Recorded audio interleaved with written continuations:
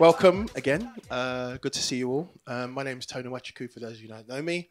This is CDR London, um, a night of ideas and tracks in the making. Um, a night for you, producers, artists, um, people passionate about music, um, along with playing tracks that you're working on during Open CDR. We also get the opportunity to um, talk to um, and uh, chew brains of um, amazing artists and producers. Um, today, I'm particularly proud that we have Bok Bok with us. Big up. Hi. And um, yeah, it's just uh, yeah, it's been. I'm really happy about this. Yeah. Uh, me too. How you doing, sir? Good. Yeah. yeah thank you. Yeah, good. And you? Um, not too bad actually. Um, so I've heard your name around for a while. I've been about. Um, you've been about, and a huge contribution to you know the scene. Um, but for those of us who, um, well, let's actually, let's go to the beginning. Um, at what point in your life and career did you think you know music was for you? You know, we've all got you know we're all busy kind of chasing you know careers and stuff. But at what point did you think you know what music's the thing that I really want to focus on? Uh, definitely never um, intended it to be a career. So I was just in. I was in the world of design. That was a past life, and then kind of hated it. Um, was hating my life, but at the same time, music was just bubbling at the side. And it was just. It was just. It was like. It was like the release. It was like. I'm sure, I'm sure it's the same for everyone, but um, it was just a nice thing in life that was the good. The good bit, and then everything else was like the shit. So it was like. Um, yeah, it was just. It just happened by accident. Um, just got more and more opportunities. Um, in fact, you know what? To be real, I first started just writing about music, um, Okay. like blogging. Um, so that was kind of my way into like taking part before I was even making music. Then from from there, I went to DJing, kind of, um, um, and then um, from DJing, production happened naturally. So talking through yours kind of early, what were you making? You know, what were the first inklings, and what was your setup if you can remember it? So I definitely remember the first DJ setup. It was just like very bad decks, like not quite belt drive decks, but um, definitely um, Gemini decks on on boxes on the floor, like in wherever I was living. Um, and the Vestax little scratch mixer thing. The, the whole thing must have cost two hundred pound. Um, and um, and then the production setup a few years later was just like a cracked copy of Ableton, or not cracked, but probably just borrowed off. You know, like when you got a spare license from your mate.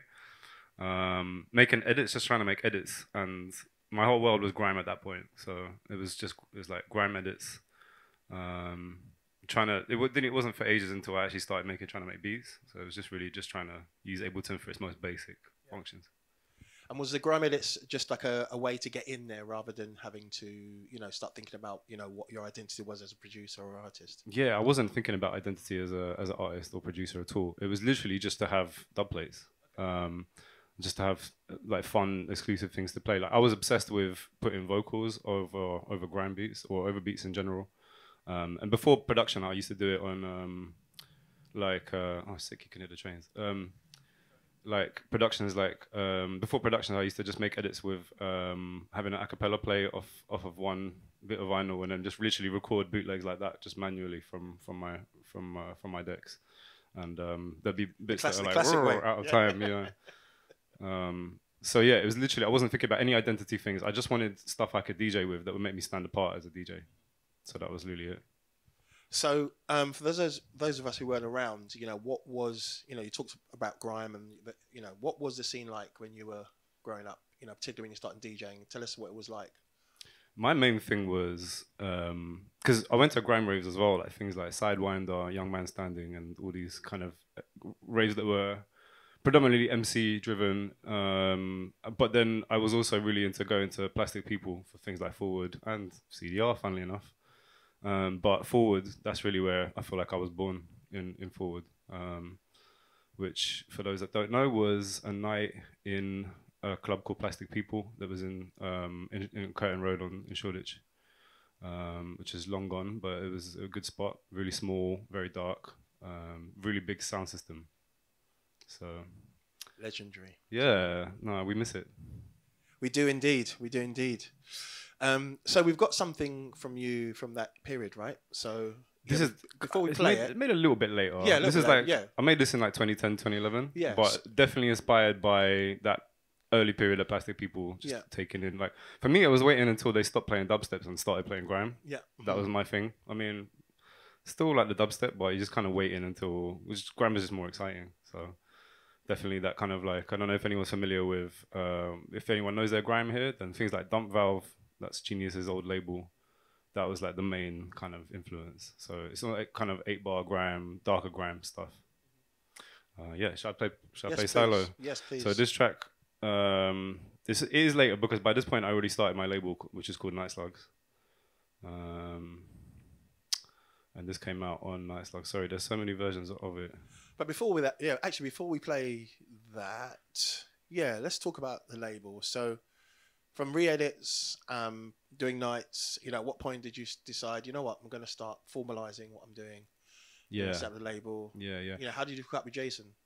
Uh, oh, you, oh, you, oh, Ovis, night ninety. yeah. Um, do you know what it is? We oh we hooked up through blogs through Blogsphere um, because he was putting stuff out. He was actually kind of more on the production tip before me, and he inspired me to kind of get more into it. Um, so really after after meeting him, I started actually doing more of my own original, trying to make my own original productions, figuring out how you actually make certain sounds from scratch. Um, but what made me formalize it was really my friends started to make tracks as well, and so that's if it wasn't for that, I don't think I ever would have pursued it or, or taken it seriously. But it's just that healthy, not competition, but I'm I'm really like um, uh, a lot of people say this and it's kind of a buzzword, but I'm really community oriented in a big way. Like um, I definitely need like like-minded people to be doing stuff with, and I just get gassed up by my friends doing good shit as well.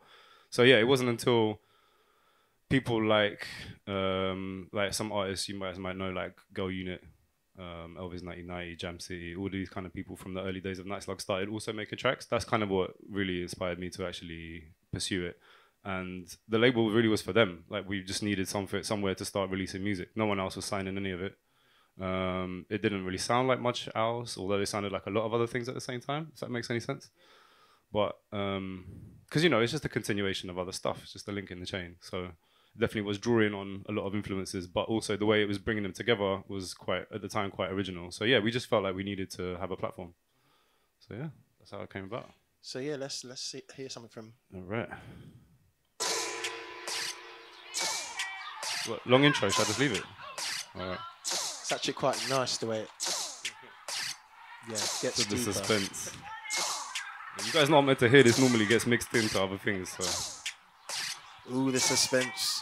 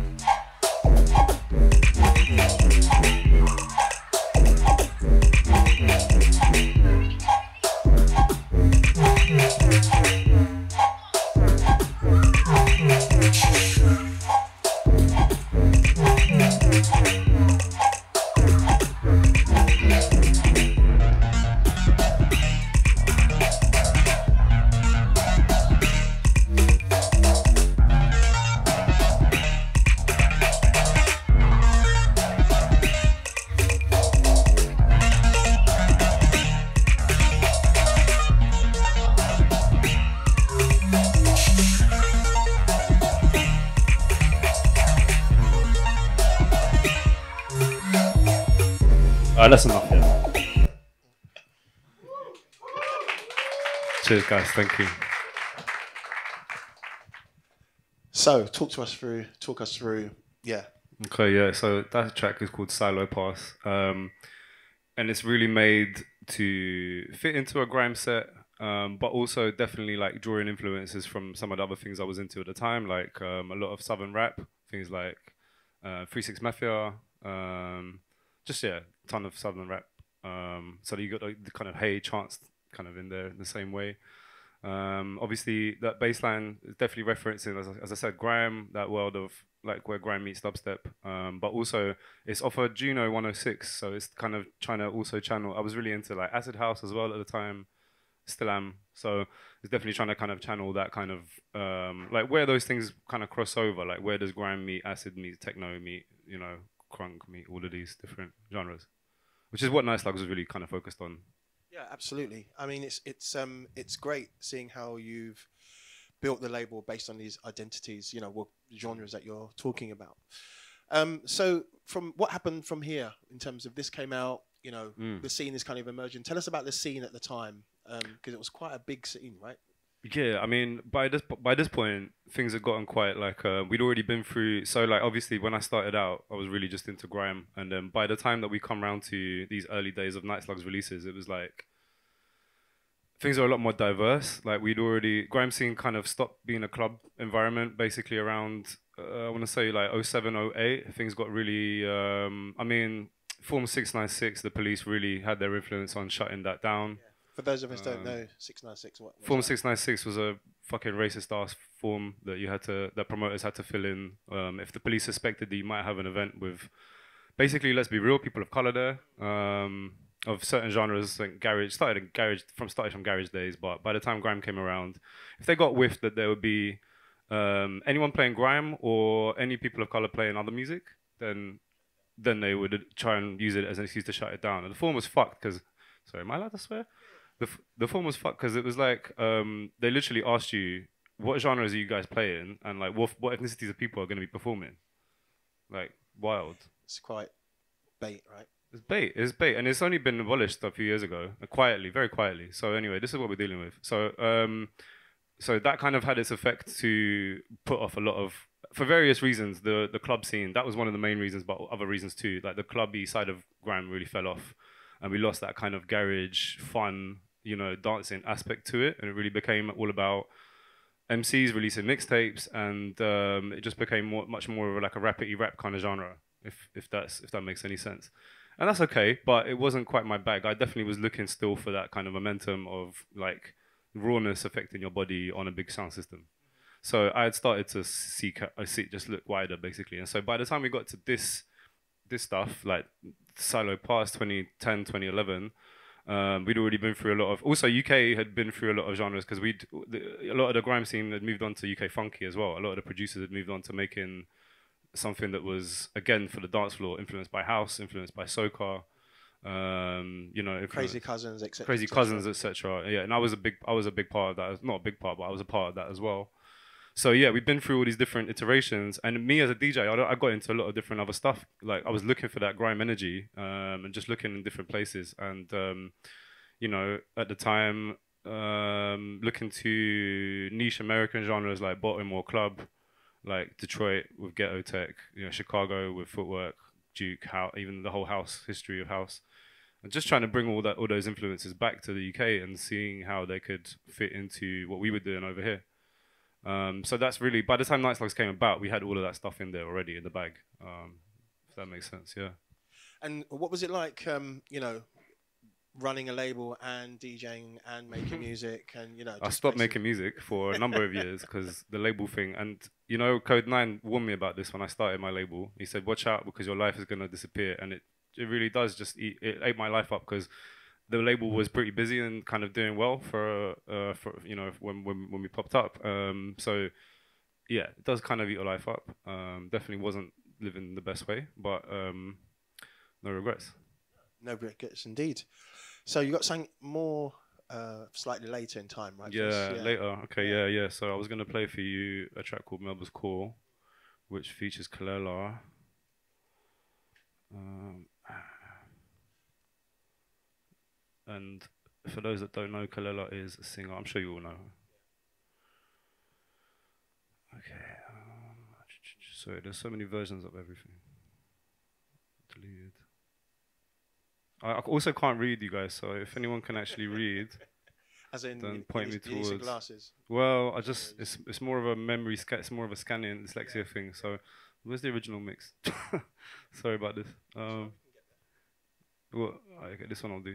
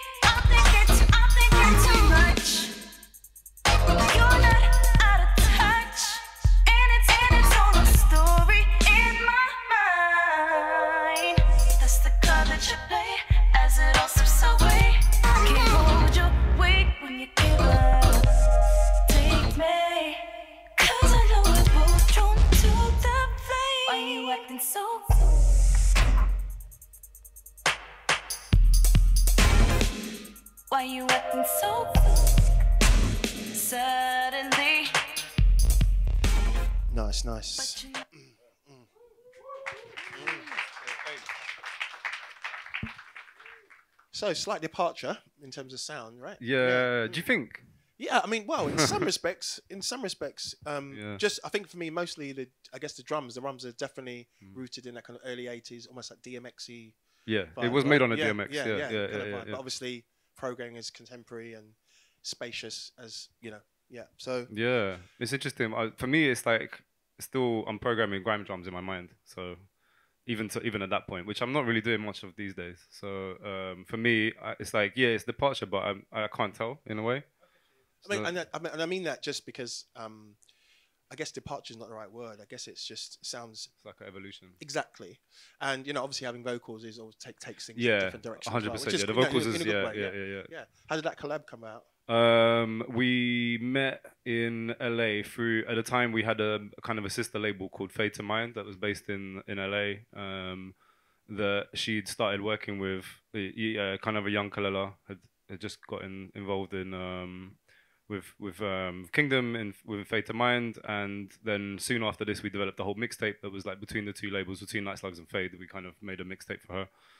Um, and then the rest is sort of history. But yeah, she's uh, that's literally just how we got involved. And I, I think I went to one of her. I think I went to maybe her one of her first ever shows, or maybe her first ever show.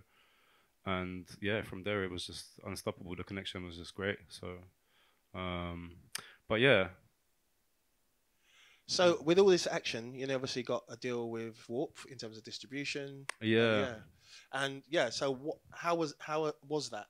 You know, I guess you're a busy label. You're you know you were obviously your own music was put to one side so you could focus on the label. Label's Mm. growing we- really well, Mhm. and with any label growing, you've obviously got artists to deal with, with their needs and aspirations, Mhm. and you know. So you know, how, what was that journey like, particularly with working with Warp and how I guess the business side of things de- developed?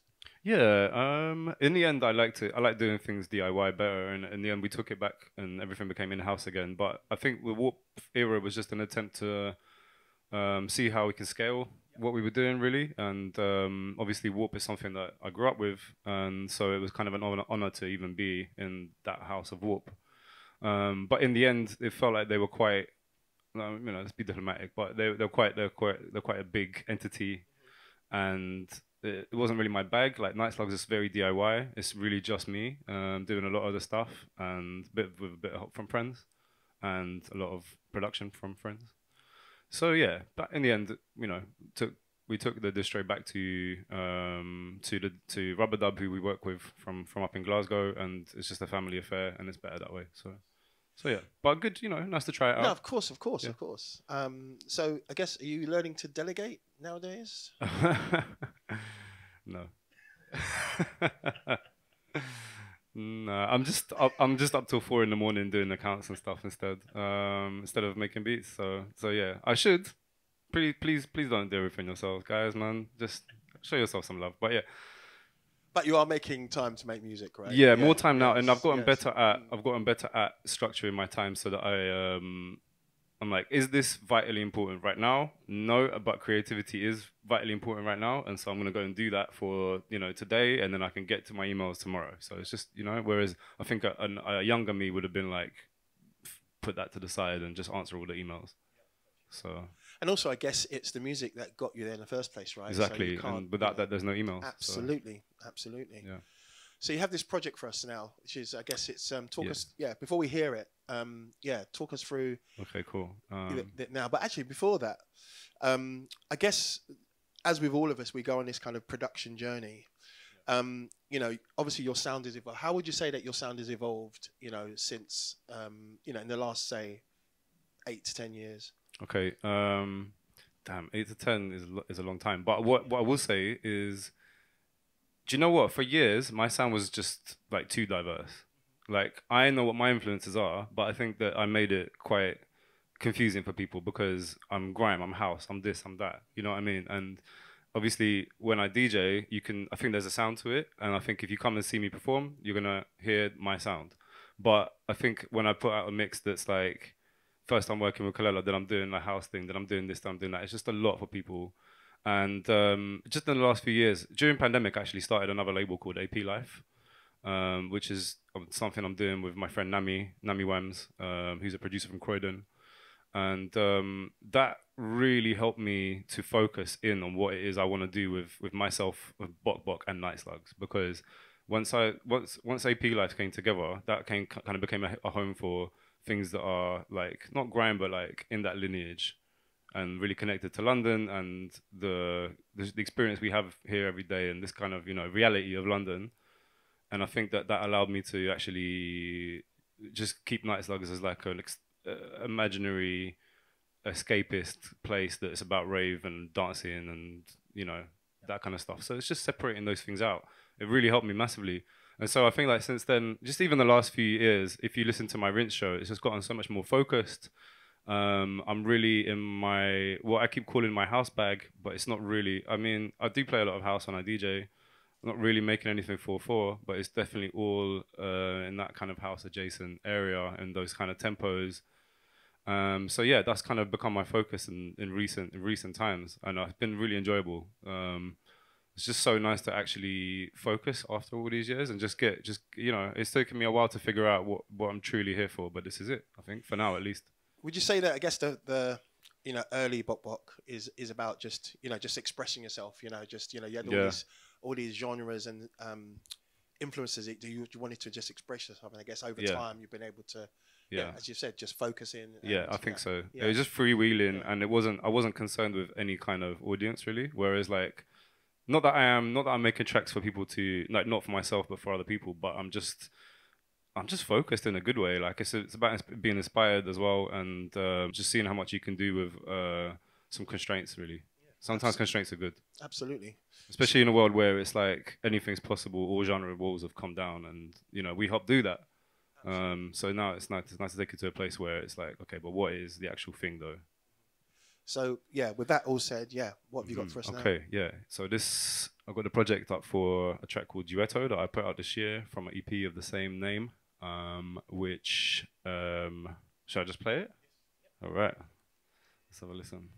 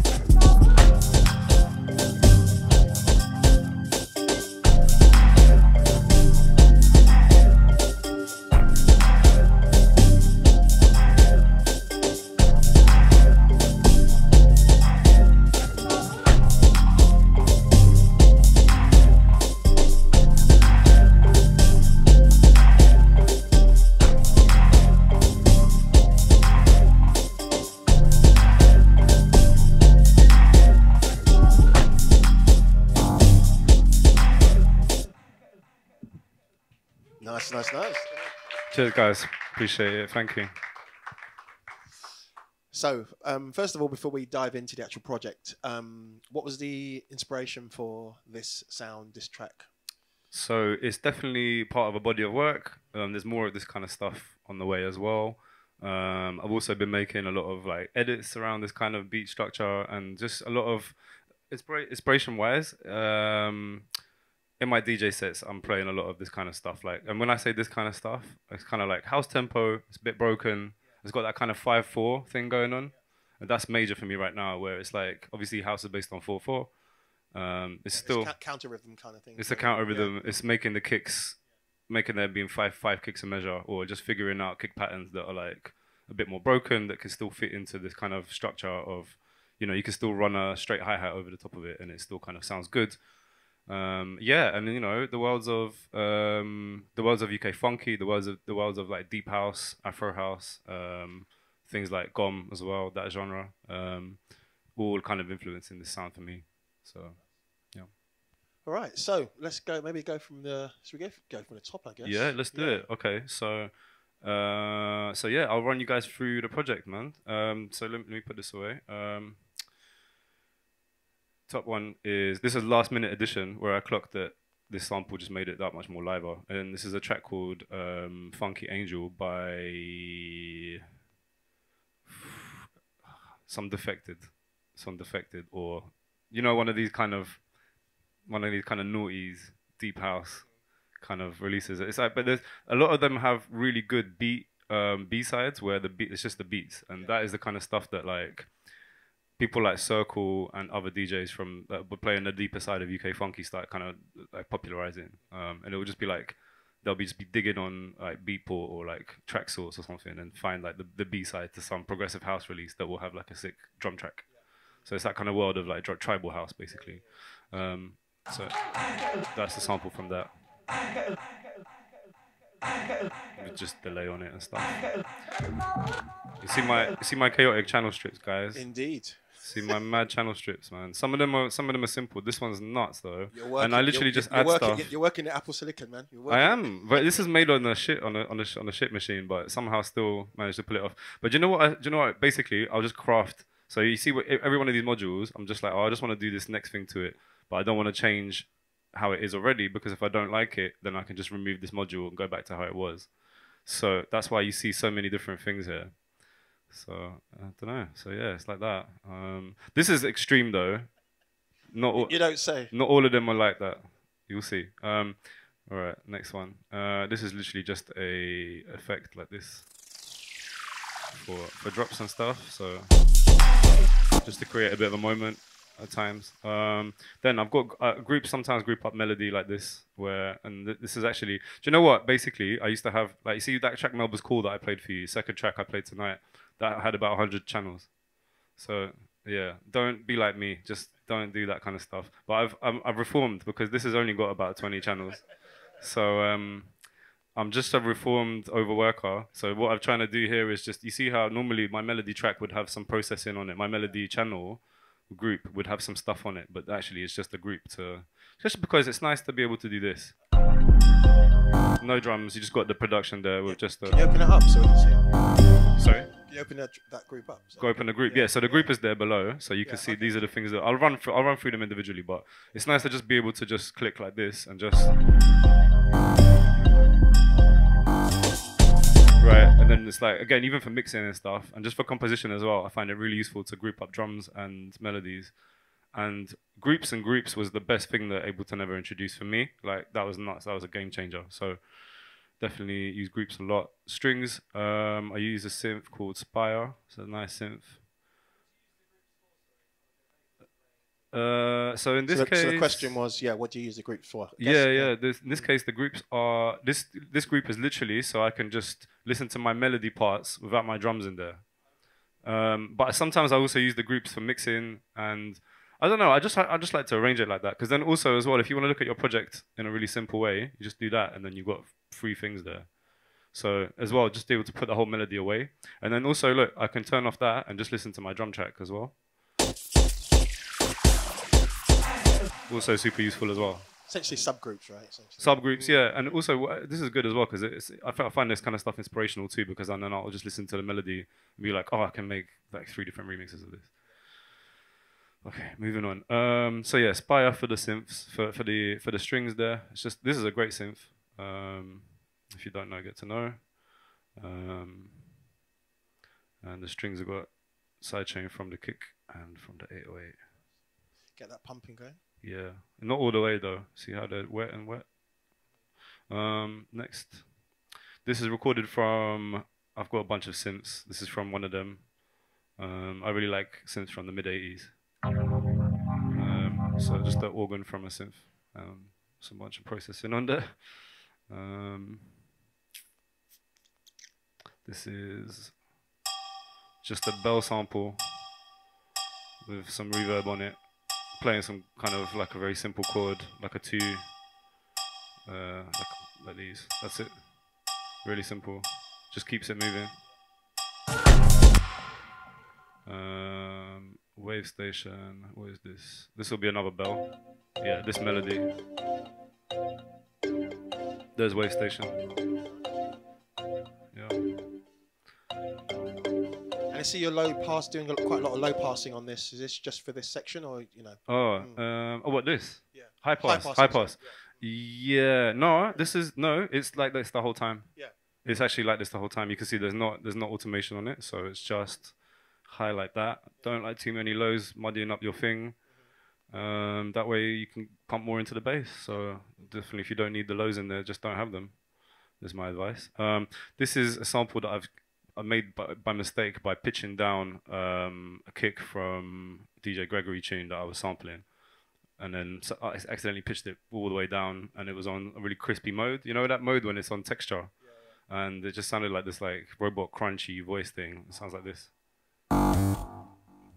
So I resampled it, and I've been auto tuning it and just using it a lot for just as a stab basically, and you'll hear it in all my tunes recently with a bit of chorus on it a bit of reverb on it.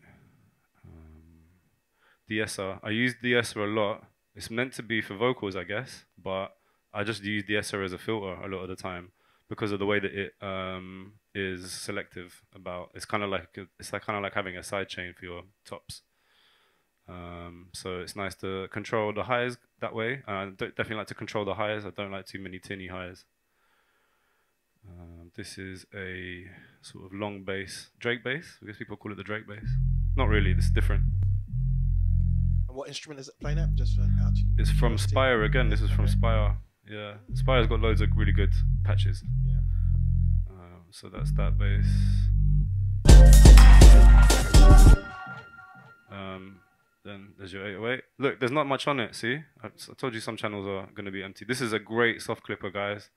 This is a great soft clipper. This I use because it emulates the soft clipper from not emulates, but it's the same as the soft clipper from um, Fruity Loops. So if anyone's into Fruity Loops, So for those of us who haven't used a clipper, what what is it? And Okay. Yeah. What does it do? um, It's actually not even limiting. This one's the limit is turned off. So I think I'm just using this for saturation. Normally, you just use a soft clipper to um, control the transients of of how of how loud something is, without losing the the power of it. Essentially, and you can also make things louder with it as well in a way where it's kind of like normally I don't really believe in using compression to make things louder, but clippers are different because of the way that they um, process your your transients and there's just something crunchy and nice in there that you can use if you figure out how to use that well you can kind of get a lot more volume out of things like kicks and just your lou- the louder parts of your track it's good to control the volume on them with using clippers so that's this one's not actually doing that because it's this is off so right here is just a good really good saturator and then that way it's like the i don't know if anyone uses fruity loops but the thing is uh, as an ableton user you have to do everything yourself. It's not going to do the software is not going to do. It's not going to make your track sound a type of way, or it's not going to give it an aesthetic at all. You just everything's just open. Whereas things like Fruity Loops, obviously, it's a, it's a little bit easier to just kind of get a bit of a sound out of it straight away. And there's there's a reason that a lot of really good music gets made on Fruity Loops. Like um, a lot of the favorite things that for us DJs, like things like all the American club stuff and UK funky and a lot of grime- grime, grime a stuff, lot of grime and a lot of um, a lot of the biggest rap songs ever, all, all kind of produced on, especially the beat is produced on Fruity Loops, and so it's little things like this that kind of make it special, where it's just got these kind of beat built-in like life hacks that just sound great. So StandardCLIP. This costs 30, 30 quid, and I really highly recommend it. Um, it is a great clipper. So yeah, that's and I'll show you the difference. Um, so this is my 808, and this is a sample that I would have made. This is from my this is from my sound kit. Um, so at some point I made this 808, but it doesn't sound as beefy without the clipper. So I'll show you before and then after. You see how the low note lacks that body? A marked difference. Yeah, and it's clipped out. See, it's red. Well, I'm not really scared of that because then there's more clippers later. On. So But it's clicking without without distortion, right? yeah, Yeah. yeah, so- yeah, exactly that. That's what soft clippers are good for. It's just clipping without distortion, basically. Hence the soft part. Okay, moving on. Um, this is a log drums log drum sample um, from. I would have had Fruity Loops in here as a plugin, but it was too bulky, so I just flattened it down, squished it down. You can actually put Fruity Loops as a plugin into Ableton and use the sounds, which is cool. Um, so there's your there's your log drum. Um, obviously, And Amapiano castic there. yeah, exactly, exactly that. Which I wouldn't want to use too heavily because it's just some people are abusing it a bit at the moment. But it's nice to just sprinkle a bit in there because it's a great bass sound. Uh, okay, there's my drum bus. So drum, well not bus, but my drum group, and I do I do have this channel strip on there, um, which what's it even doing? It's not even doing anything. Ignore me. Ignore me. This isn't doing anything because you see the filter here is turned on, but it's not actually turned up. Um, so that's not doing anything. So this is another group just to literally just group stuff up and control it like as a group. Um, if I wanted to, I could put some processing on it. On other projects I do, but I'm trying to keep things simple at the moment. Um, so this is my kick drum. Um, um, and this is being saturated by this thing. This is great. The classic. Is that PSP, right? is, yeah, yeah, yeah, yeah, yeah. I love this. I haven't seen that in a while. Yeah, So, yeah. still using. I'm still using stuff from the from the noughties, but why not? It sounded good. Um, this is oh, it's flat, so ignore it. Ignore me. But you know what? This is. I'll show you. I'll show you one time when I'm actually using this properly. Um, I'll show you another one. But yeah, there's the channel strip actually doing something for a change. So a nice channel strip. Um, so it's just got a bit of um, a bit of high pass there, um, a little bit of um, this like expander, and this is some weird button that makes it analog, which doesn't, but you know, makes it a bit more fuzzy or something. Which sometimes you want to just take that slight HDness off a little bit. So uh, before and after it's like this.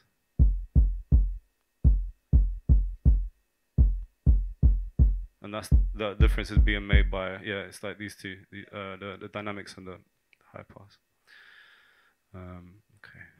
See, then there's another kick for the intro as well, um, which is just another kick really, just because I felt like it wasn't the the main the main kick and the main tune just wasn't given for some reason in the intro. Then this is a snare that I've sampled from another one of those Defected in the house type songs um, called "Feel This," the beats. Again, just from the from the B track of the B side of one of these kind of Defected, and it's got loads of processing on it again.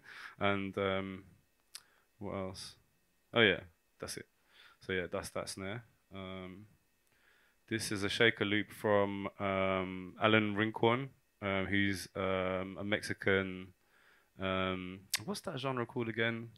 It's like in trip. It's all triplets. Uh, no, similar, but it's yeah, it's similar to bachata, but it's not quite that. But anyway, just yeah. Yeah, can you hear how it's triplety? Um, I think I might have cut that up as well, or I looped it in a way that's um, changed anyway. But um, so yeah, cut that up. And also, one cool thing about this is volume shaper because it sounds quite a lot different without it. So I've got this thing on there, which um, just controls. It's a nice plugin that controls the. It's like an envelope. It's like a volume envelope that's on um, set to one bar. It just gives it a bit of movement. Um, anything else cool on there? Let's see. So yeah, this. Oh god, I'm not really using it properly. Again, this multi-band thing. I'll show you another time when I'm actually really going in with it. Done a bit of sidechain. Um, more of this. I use this channel strip a lot. Sometimes I just use it for the filters. Did you have to learn? And that's the SSL clone, right? Or, or Yes. plugin. Yeah, yeah, yeah, yeah. So did you use that one particularly because you're familiar with it, or Um, I do. I, I, have, I have used it like IRL, um, but really and truly, I just I'm not. I'm not even sure. I think it was on sale. Yeah. So it's not like I was like I need this particular strip. Yeah. It was just it's just a nice strip, but it is it does sound really great. So I do use it a lot. Um, a bit, more. Yeah, this is actually quite a mad chain. But you see, some some of my chains are just I just want to like really really design the sound and craft it. And others, I'm just like, cool. This is this is fine. I'm just gonna leave it. So this is a this is a hi hat rack from my 909. Three different, four different ones, because you know when the the 909 produces a hi hat, it's always different. So I thought I'd keep that movement in there, and it's very subtle. But all three of these are, all four of these are very slightly different.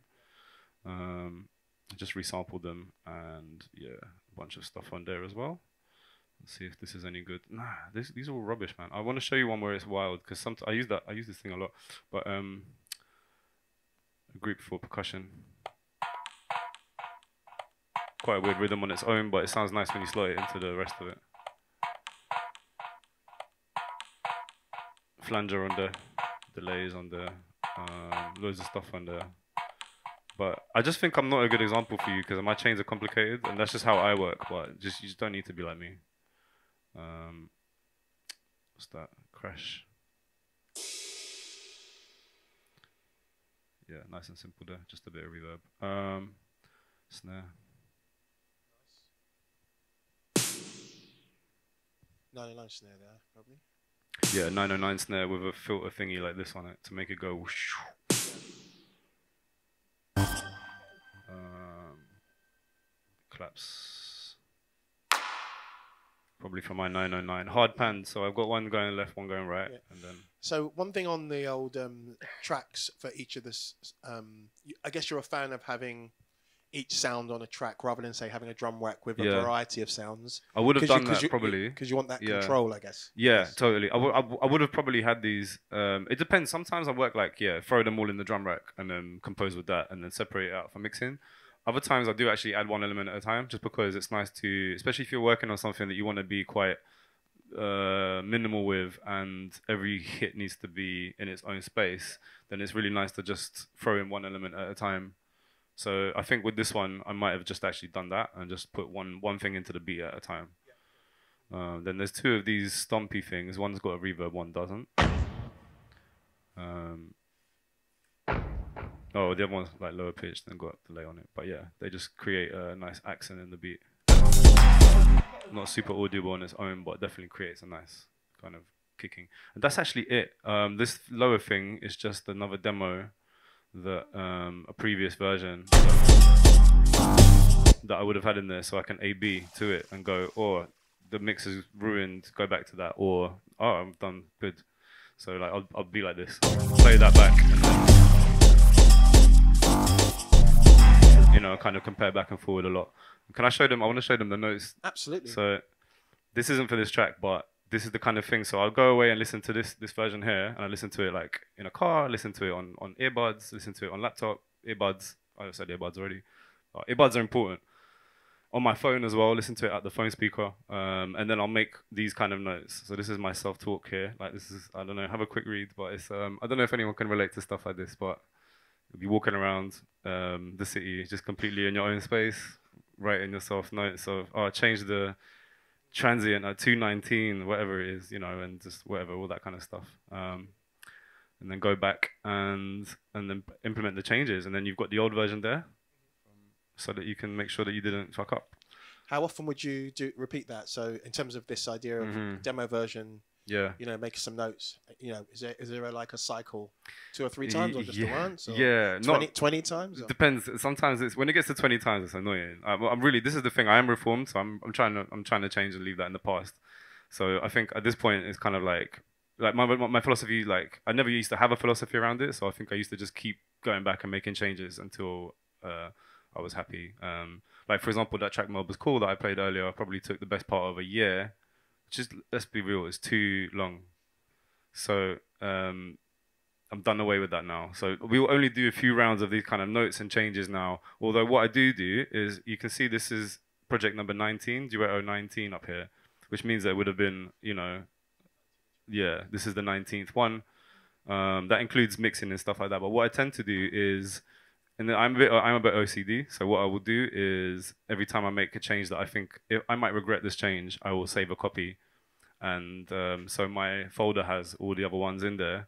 And so at any point I can just be like, and it's happened countless times. I don't regret doing this because there's been so many times where I'm like, you know, when you work too late, you lose perspective, um, and you want to go back later, and then you've got a bounce, but you've already saved over your project, and then you're kicking yourself. But I don't, I, I won't be in that situation because I'm going to have the project.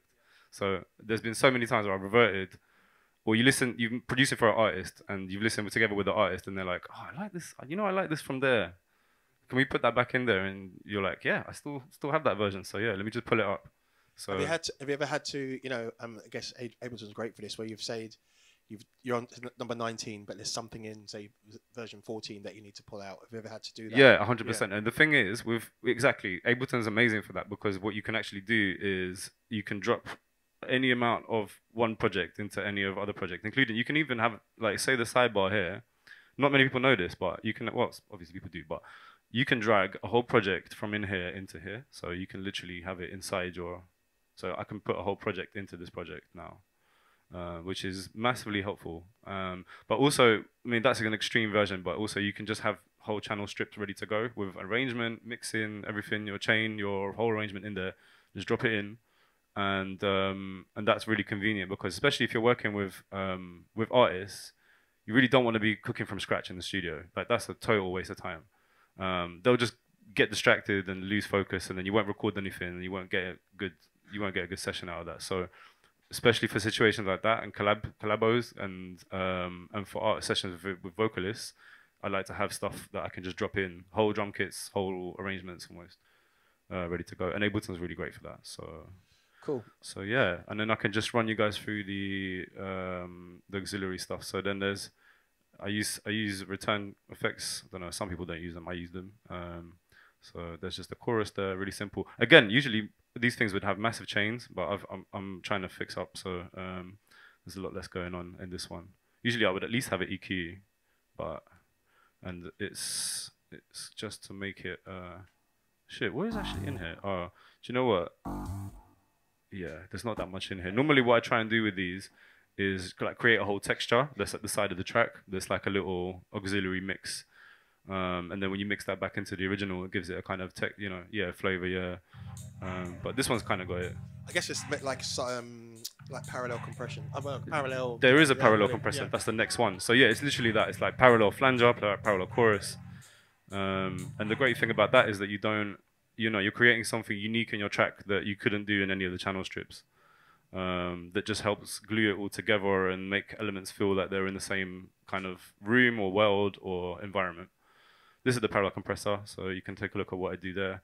I actually use the same chain pretty much on everything now. Um, a parallel compression, if people don't know, is just it's the I think it comes from drum and bass originally, but it's just when people just it's just people trying to squeeze more and more out of their tracks really. Um, but again, I kind of use it to create like a very compressed version of my track, uh, of the drums, especially the drums. And um, what it does is just kind of create more fatness in the drums. It's kind of hard to explain, but this is it without it. And with.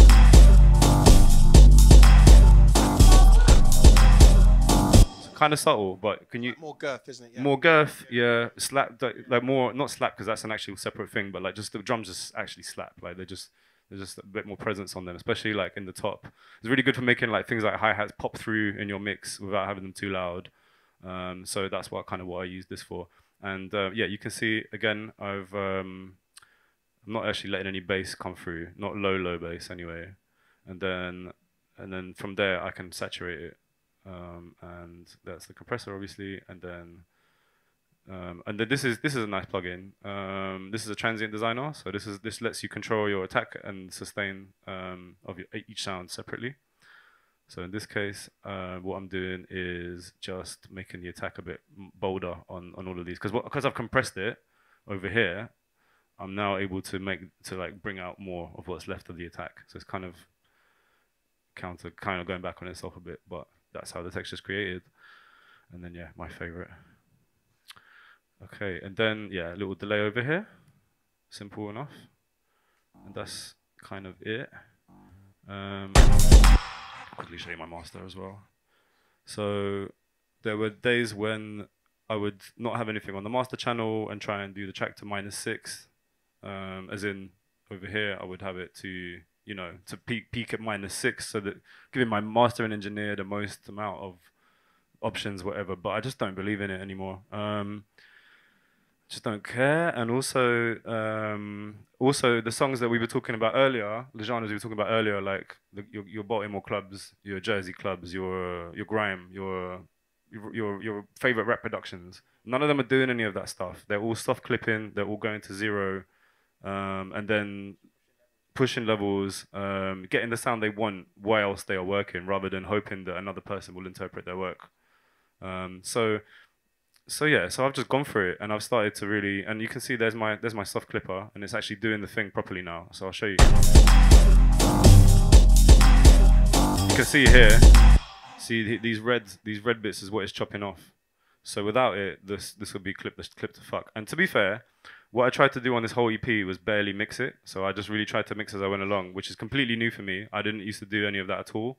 I used to spend ages and ages mixing and would go through you know, many iterations of this kind of stuff. Um, so what I didn't do on this EP was any of that really. So you, there's hardly any EQ on it, all of it. But then, oh yeah, tiny bit of EQ here just to get to get get a bit more more highs. But that's really it. And so without the soft clipper, it's like this, like distorted the whole time basically. And I could turn it down, but I just didn't want to. So um, so there we go, soft clip. Um, that's it. Time for ask questions. Um, so if you have a question, oh, he's ready to go. so we've got a microphone. We just get wait one second. We've got a microphone. Um, just stick your hand up, and then the microphone will come to you.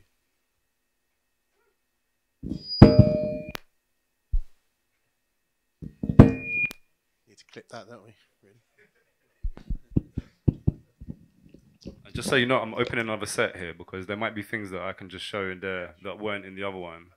But This is actually I should have just shown this, but I wanted to show some original work. But um, so I'm making all these edits from from uh, template, which we're I get- thought would be getting there, interesting. yeah. Yeah, okay, yeah. Sorry, let you do your question. Yeah, hi. Um, I enjoy your music for sure. Thank you. Uh, it's the first time hearing you, so yeah.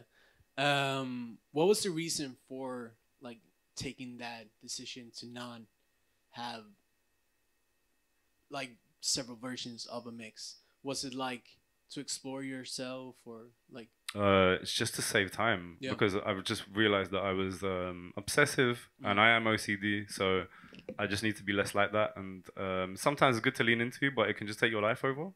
So it's nice to just um, let things be a bit, and um, and it really was about saving time. Because again, when I was working on EP this year, we've had the anniversary of Night Slugs for like 15 year anniversary now. So that's been a lot of um, like, ah. Thank you guys, man. I wasn't expecting that. That's sick. But jeez, but yeah, no, thank you. But, but honestly, it's just been it's a it's a lot of like office work and a lot of organizing shit. So it's just I was like just really trying to minimize my uh, uh, faffing about with different mixes and just was like let's just fucking just do it. So that's all it is. Thank you for your question. Anyone else? Yeah, Question how's it the back going? here. Thanks for the interview, man. And congratulations on 15 years. Like, Thank you. Night Slugs is always, as long as I've been in, the- in the electronic music, Night Slugs is always just there, like doing its thing and top quality, seriously, all the time. So big up. Love. Uh, although your channel strips are giving me the fucking fear. Please don't be like me. you You, need to don't need to do all of yeah. that. You don't need to do all of Um, that. Mike, I got a really specific and like Yeah. nerdy question. Okay. Um, those SSL strips that you're using, Yeah. I'm don't really understand what they're doing. Is But- that is that just for like EQ and filtering? Uh, let me bring one up and I'll show you. Basically, okay, so sometimes I don't understand what they're doing because the thing is, you see this little button here, this analog button. This is a mystery to me. Like I'm not really sure what it's doing. I think what it, I think what it does is it makes things a little bit a little bit less HD, a little bit more like rounded. Um, They kind of model the characteristics of the exactly. of the So, desk. yeah, so all these all these all these what are they called Bra- brain whatever Brainworx. All these these type of plugins. There's loads of them. This this isn't the only one, but like there's loads of these kind of plugins that are trying to like model real equipment, and they spend loads of time like passing signals through it to work out like what its characteristics are to try and recreate that in digital. And so essentially, all that is is um, is trying to be closer to putting it through a real desk. Um, so I sometimes just use this button to just take the edge off a little bit because you know how digital sounds can just be a bit in your face and it's just quite like a lazy way to make things a little bit more tucked in and rounded. Also, this dynamics thing, din down here, this is actually um, an expander slash. You can also make it um, a gate as well. I think it's in it. Yeah, I think it's in expand mode right now. And um, again, it just is. I don't know if you work with gates, but it's it's really useful. Um, just makes the sound a bit more rounder. Also, short sounds are good, especially for drums. So like a lot of the time, I mean, it depends on what you're doing, but a lot of the time you actually don't want the tail from the extra tail from from your sounds is just crowding up your mix, and it's the initial first transient that you're actually interested in. So that helps with that. Um, and then a lot of the time I'm not using it for any of that. I, a lot of the time I just use it for the filter section up here, just because I find that it's got a nice filter algorithm or whatever it is they've created. Is it's just a nice sounding filter that isn't. You know, some filters like the Ableton filter is very like whoosh and it's very extreme. This doesn't really have that. It's, it scoops it kind of subtly until you get to the top. You know, so yeah, it's just a, a really nice way of filtering. So yeah, a lot of the time I'm not doing nothing fancy with it. Thank you. Question. I got a question actually. Cool. It's a two and a half parter. Okay. The first question is, how do you separate your sessions out? Because it looks like if you're doing emails half or a few hours of the day and then doing sessions, do you just work an arrangement and then you just gather your sounds like prepping, and then you try to find what works around it, or do you just? Because it looks like you split into two, innit? Ye- Uh, yeah, um, I mean, with the emails, I just try and do that at home, and then once I'm in the studio, I try and just not even look at any of that stuff. Also, I'm I'm I'm a night a chronic night owl, so I'm really like I'll just spend my days doing all the admin office work, do all the phone calls, all the meetings and shit, and then just go and work on one. No one could disturb me until like stupid o'clock. Um, but you're asking specifically about like the the process, right? Yeah, because I was wondering workflow wise. Yeah. I'm guessing, do you arrange as you go, as you kind Um, of feel like you've got eight bar, and then you move on? Yeah, I do like to. What I do like to do is try and make an eight bar loop, and then when you got your eight bar loop, then you kind of try and think, what part of the track have I just made? Like, is this the main part? Is this maybe like intro-y? Is this this does it need a bass and then it could be a main section? Or if it's the main section, is there a counter melody that I can bring in that can bring in like a B section or something like that? So I just try and uh, what it used to be is I think in the first session I would always if the track was going somewhere because you know some projects don't and then you just put it aside. But if I feel like it's going somewhere, what I'll try and do is before I leave, I'll get down an A and B section. And obviously I come from grime, so like the well, for us the two sections was enough because all you need is eight bars of this, eight bars of that, and you can just roll on forever. In theory, um, sometimes all you need is eight bars and you can roll on forever. So that's another type of track. But at least just get that core idea down so that the next time you come back to it, you're actually inspired to to do something with it. You're like, yeah, that loop was fucking sick. I got to finish that.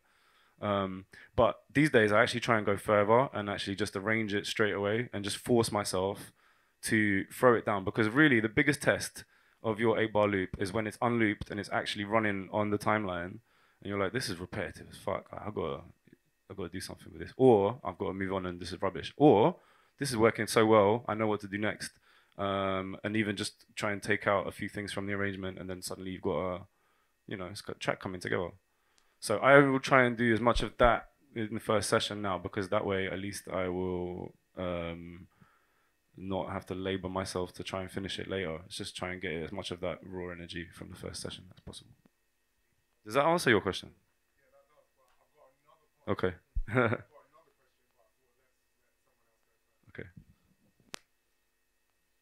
Another question? Question here and then on the right. Hey, thanks a lot for the, the talk. That was amazing. Um, uh, you mentioned earlier the Quaze sample that you time stretched to, to fuck. Yeah. Um, and you mentioned how you use that on a bunch of other tracks in your EP. Yeah. Is that something you do commonly? You have like a motif or a theme that you carry across an EP? Um, I'm starting to do it more. I mean, in the past, I've I've had it more like the drums. Like the palette will come from the synths or the drums that I'm using, or um, like try and use the same bit of equipment on across a, a whole project. Um, but also, it's kind of natural, isn't it? Because you make stuff in batches anyway, and you might be into a certain sound kit during that time, or you might be into a certain bit of hardware that you're just banging at the time, and so that might be your like I don't know DX7 EP or whatever. Um, but uh, now I'm really a bit more conscious about it, and I've actually kind of even got like uh, see what, what I've got brought up now. I don't know if anyone's been hearing any of these edits that I've been making. Um, It's a hard body label. yeah, this kind of stuff. Yeah, it's just it's really just it's really just making very quick edits, and like now I'm kind of moving on to making more originals with this template, but it's literally the same kit each and every time. Um, so I've gone from almost working from scratch each and every time to actually throw in the same kit on onto everything, Uh, and So Yeah. just to clarify, because that yeah, I mean that that makes a lot of sense having like a template that you can draw on. Um, but with that specific sample, it's quite a unique and bold like True. sound, and Yeah. it stands out quite a lot. Yeah. And if you're using that across a whole EP, like Mm. how do you make a choice and be confident that you can carry that kind of choice? Because I, I would Mm. struggle to make a some like a decision like that. I think it's it. see with that OA, that OA stab. I think it's in this track as well, this Georgia one. Um, do you know what it is? Is that it doesn't feel like it's because it's quite short and stabby. I feel like it's just a sound design element, and it's in here as well. So here it is. Um, yeah, there it is again. It's just a sound design element, but I do like things that are like a bit of a signature, or you know, and it's like as again as a grime head. Obviously, when I growing up with that genre, or not growing up, but like coming up with that genre, there was certain sounds that were like, oh, that's the snare. that's the that's the Wiley snare, that's the pulse, that's this, that's you know, that's the, these are the iconic one hits essentially, and um, I don't know, it's nice to continue on that culture and just create these little sonic, um, almost like logos or signatures that are like recyclable, and you can just rearrange them in a different way. So I'm really into that. So that's my that's kind of my thing. So the fact that I even found one that I'm like, okay, cool, this could be a little thing that I'm actually like keep implementing. It doesn't didn't seem like a stretch of the imagination at all. It just felt like natural. Thank you. Gentleman over here. On the... Oh, so, sorry. Yeah, sorry. Uh, oh, sorry, I took the mic in it. Uh, um, no, I just want to say thank you for uh, for the talk as well. And man, like to be honest, it really resonates with me what you're saying about garage and grime because I grew up with all of that, and Yeah. um, so solid. We're around the corner. Yeah, same. Yeah, I went to school with some of those guys. so- Do you know what? Neutrino's cousin used to live next to me. Swear. I see face all the time on the road. Harvey used to train me in football. Come on. so it's one of them ones. Winstanley. Yeah, exactly. Come yeah, on. yeah, yeah, yeah. Come on. Okay. but um, for me, I had two questions for you actually. So the first one is more like generally. So obviously, you said you were doing the blogs and stuff, and um, you know, DJing. When you started producing, at what point were you like, do you know what? I I'm actually a producer now. Because at first, there must have been a point where you were like, imposter syndrome. I'm just making a few edits here and there and whatnot. But like, Uh, do you know what I mean? Like, when when was the point where you're like, do you know what? I'm actually a producer. uh, yesterday, today. That now that I'm speaking as CDR, I must be a producer, right? Yeah, yeah, yeah. That imposter thing doesn't go away for me. At least, at least for me. I don't know. Some people are mad self-confident and they're just like, yeah, I'm it, you know, and whatever. But I don't know. I've not been that person. Not, that I'm not confident. I'm confident, but at the same time, in terms of am I a producer, I've always been a DJ that made tracks. That's the way. I still feel that way. So, um, but I guess at the same time, you know, it's everyone loves that moment where your thing is on. I hate to say it, but Spotify, man, and or like whatever, fuck Spotify, but on a platform, like that moment when it kind of jumps out of your living room, your computer, whatever, into um, the the realm of the world, does reaffirm reaffirm you. So I think things like that, when it happens enough times, you start to maybe believe that actually this is maybe a thing. No, fair enough. no, just because I'm a writer first, producer second. People like the production. I pretend like I, I've been doing it for years, but I haven't.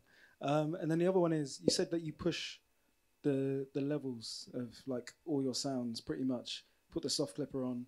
How does that work eventually when you get to Spotify? And I think they've put like limits on like the sound levels. So when you're sending it to a master engineer, like what's what's that conversation? Like what's happening there? Do you know what? I've got an engineer that is. Um, I'm actually doing my own mastering now, but um, up until more or less, but up until now, I've, been, I've always worked with the same engineer, and um, he's been great because he just wasn't one of these people that uh, that are like everything must be delivered minus six un, you know nothing on the master channel. It needs to be unlimited because he doesn't. He understands that we as producers want to craft our sound as much as possible, and that maybe the saturation that you get from that that loud master is part of your aesthetic.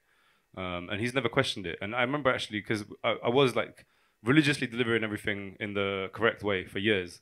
And then one time I had a remix from, do you know Claude VonStroke? Do you guys know Claude VonStroke? He remixed a track for us once, um, off his own back, um, I should add. But he and I could see when he when he sent it, it wasn't that loud, but you could see it was squashed. So I sent that to my engineer, being like, "Is this going to be an issue?" And he was like, "No," you know, just like that, and really, really casual about it. And from there, I just kind of lent into that really, um, and there's been there's been no going back. And uh, the other thing is like we master stuff from like someone's lost a project and it's a great track. Uh, we've already, only got a, a 320 MP3 of it. Fuck it, master it, release it, play it. People play it all over the world.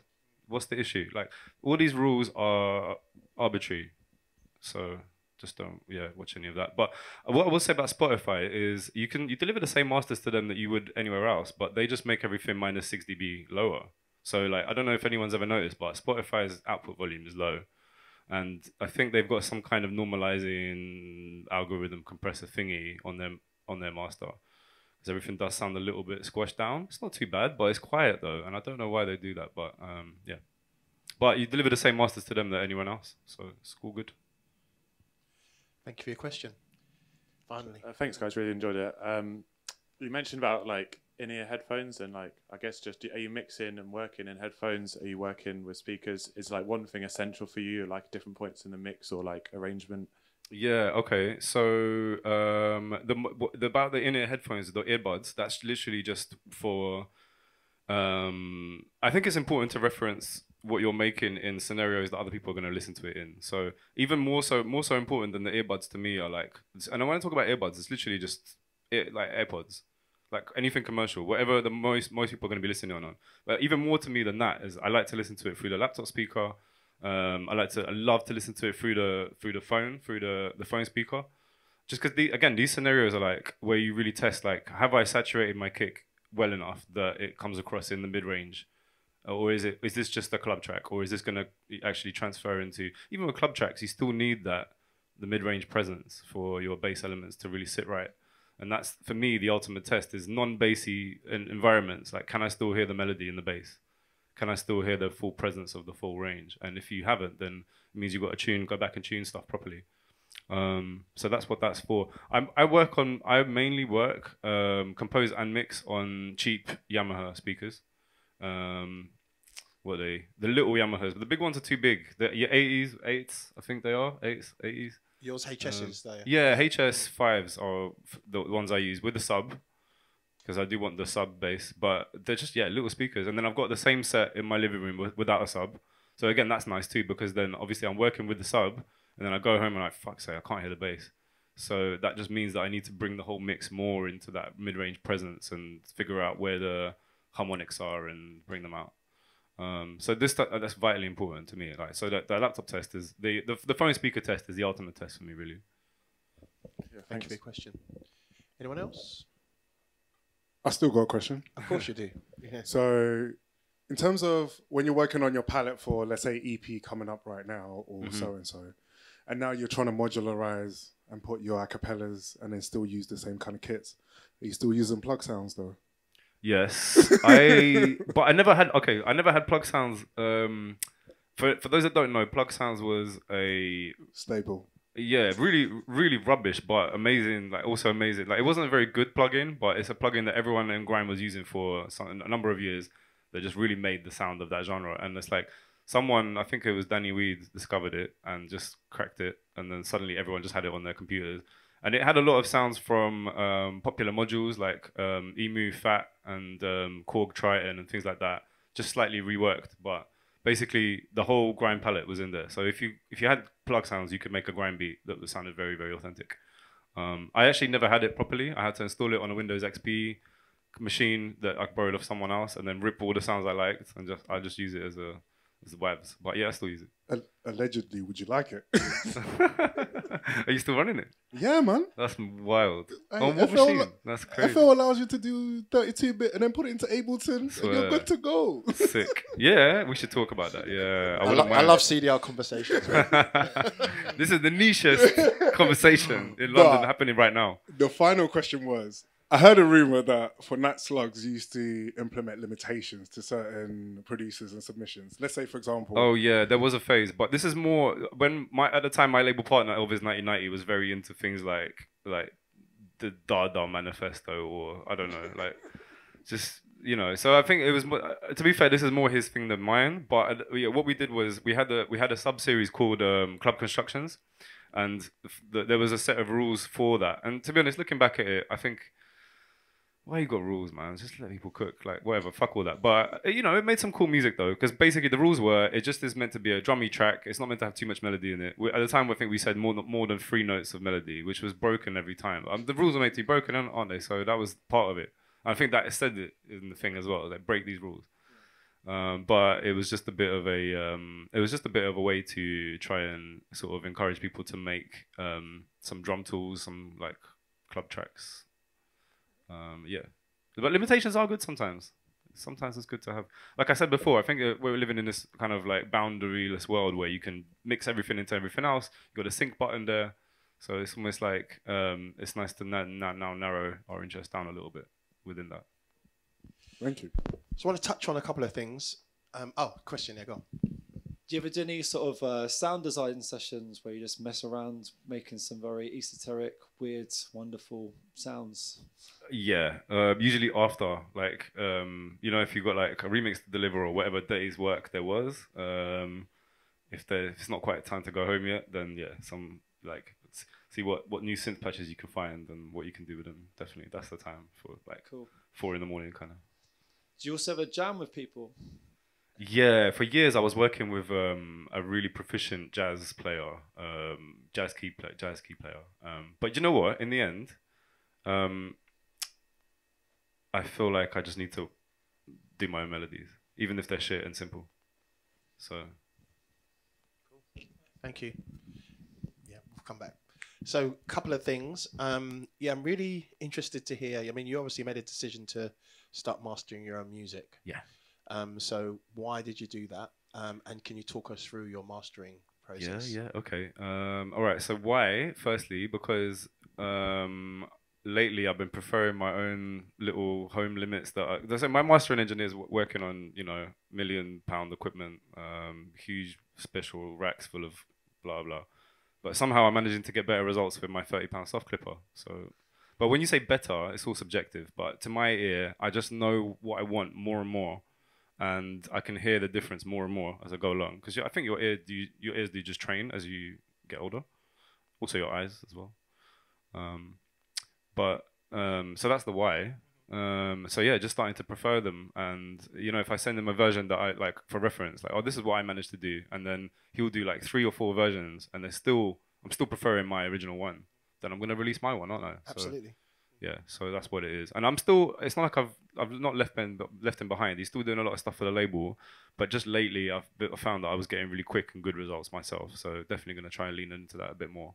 And with the mastering, do you take, do you export the WAV and then put it? Yeah, what is your mastering Uh, process? Yeah, I do. I do still, for some reason, believe it, that something happens when you've summed it that isn't quite the same as when you've unsummed it. So I wouldn't necessarily.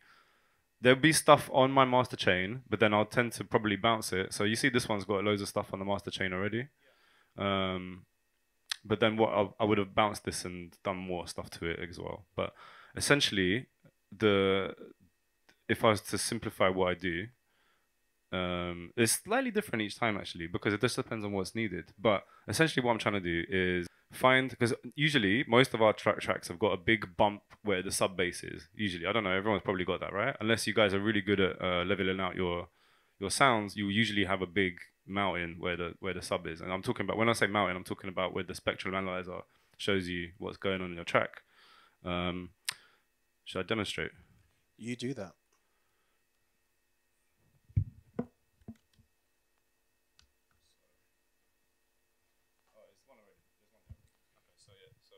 Obviously if you guys aren't using this thing, please be using it because it's very useful. Teaches you a lot about what's going on.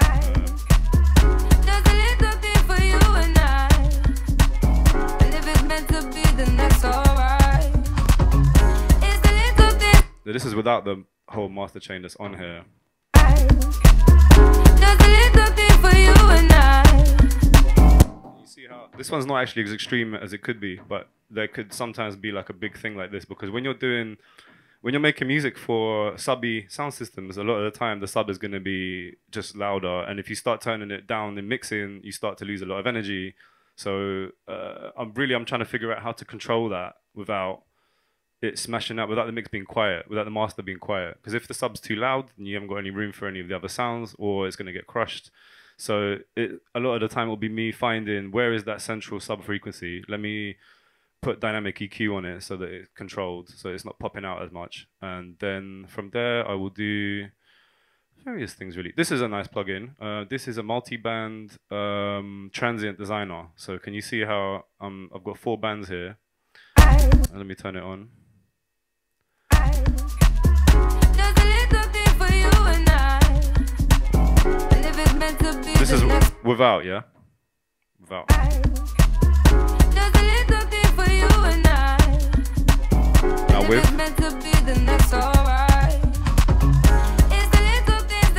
Well, it's a bit subtle because Corsica's not exactly a monitoring environment, but um, this is just a way of it's another way of essentially just designing and shaping the the, the, the master. Really, it's just like how much um, mid sustain is there, how much you know lower mid bass sustain is there. So here I'm actually taking most of them out and then adding a bit of um, a bit of so making the bass and the mids a bit more sustained and making the low mid a bit a bit tight, yeah, a bit a bit more punchier.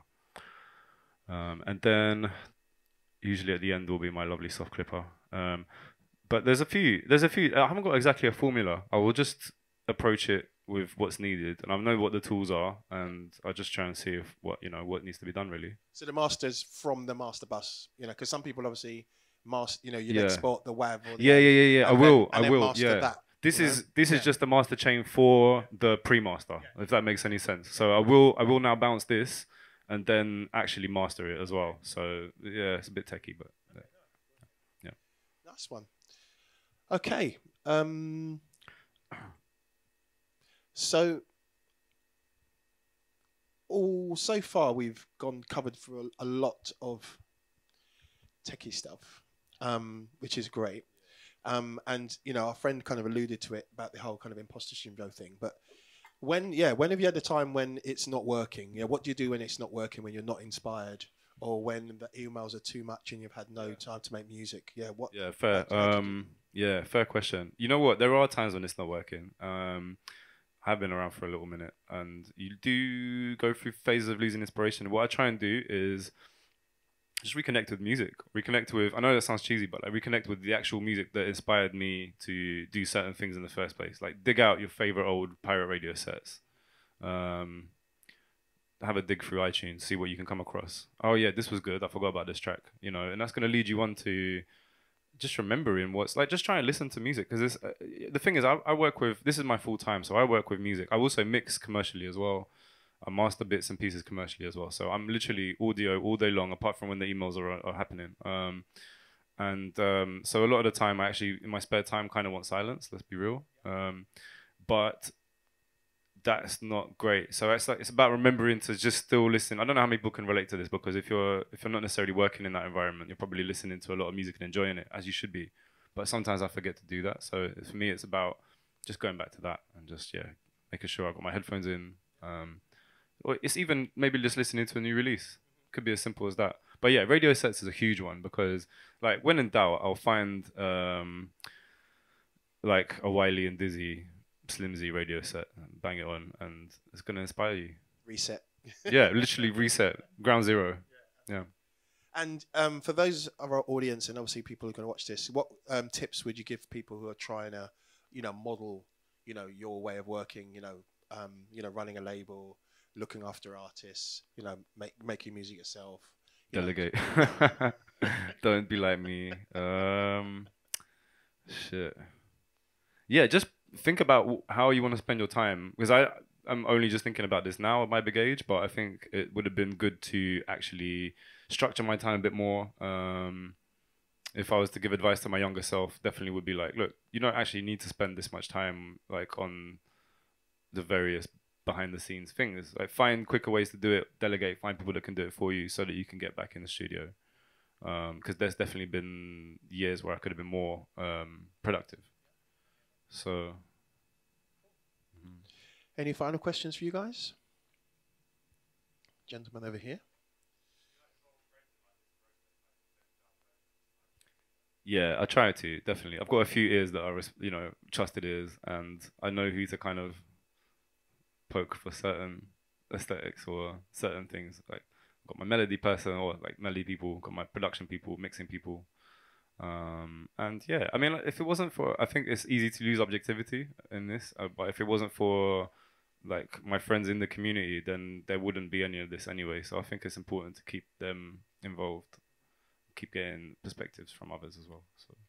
On that tip, actually, how do you choose what um, edits you're going to work on?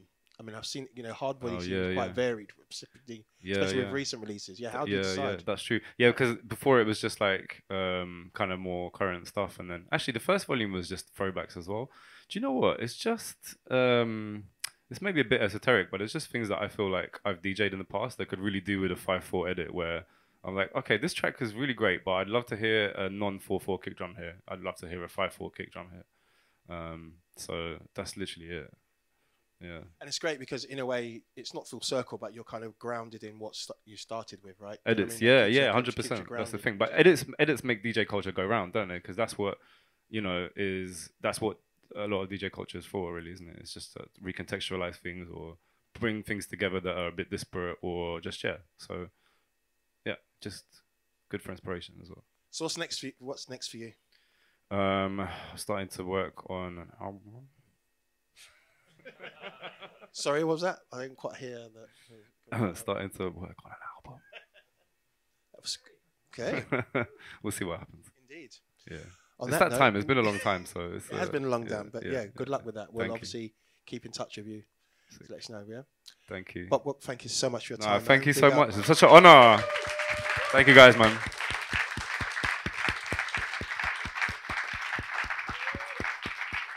Thank you. Love.